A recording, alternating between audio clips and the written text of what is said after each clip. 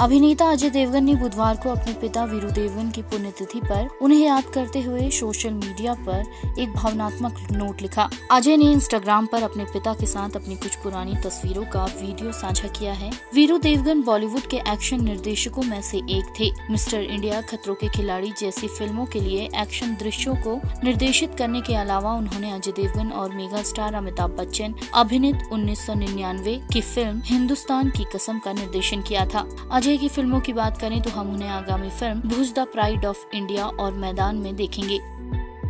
INS report